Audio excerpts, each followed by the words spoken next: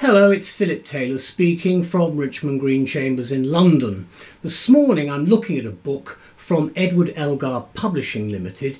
It's the Research Handbook on Directors' Duties and it's been written by Adolfo uh, Paolini. It's part of the Research Handbooks in Corporate Law and Governance series from Elgar. Do have a look at our review, which is on the web and in the journals. And thank you to all concerned. Bye bye.